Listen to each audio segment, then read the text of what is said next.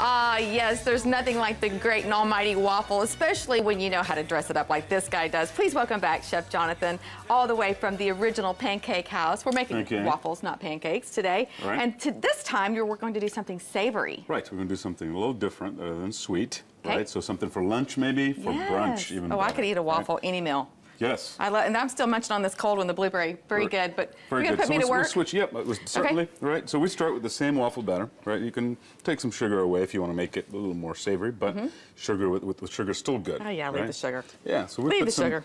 some um, uh, Parmesan? parmesan in there. Mix it in. Okay. Right. So we'll open that. Okay. Right. Pour Now, it. did Pour you in. did you spray anything on No here? need to. No. Right. Okay. In fact, if you overspray, you can get a little too soggy. You don't So, want to do that. You know. Nice. Parmesan. That's that's an interesting waffle. twist. Oh yeah.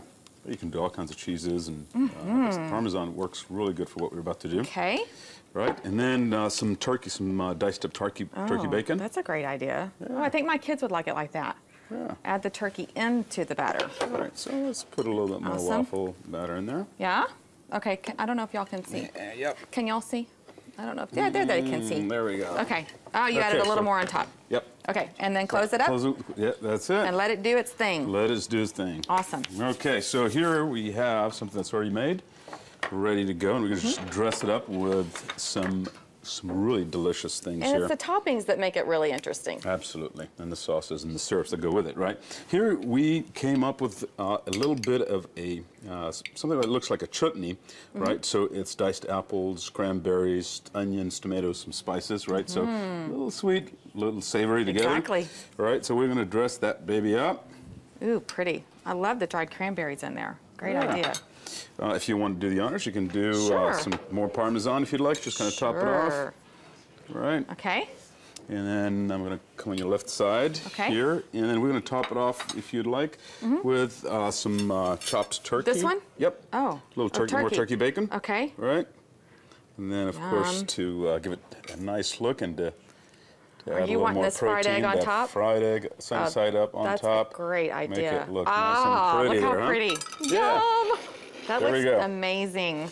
Now we can put some syrup on it if you'd like. Okay, you have Some the maple syrup, I would strawberry. if yeah, you I like, was, or- I was gonna say Yep. not strawberry. Maybe this maple would be amazing. Mm-hmm. Okay. Okay, we got a fork and knife here for you to taste if I you'd like. see a hard workout in my future today. but it's so worth it. Okay, Right. can I do this? Do you have another one to make? I'm just picking out over here. Yeah, please do. Now, Okay. And then we, we already made this. Just wanted to kind of uh, show uh, something very nice and simple.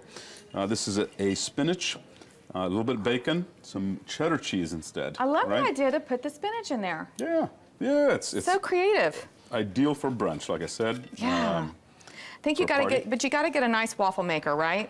you do have to have a nice waffle maker, but uh, you know that, that's a twenty dollar easy. Oh, is it burning? Uh oh, look at everything that came out. Did I make a No, mess? we're good. Okay. Is it all right? Yeah, you're fine. Is it quite ready? This is probably a little soft. You want Okay. to crisp it up a little bit? Yes. Okay, we'll just leave it there. We leave Just that one and, minutes, and we'll eat it after we go to break. There we go. okay, good.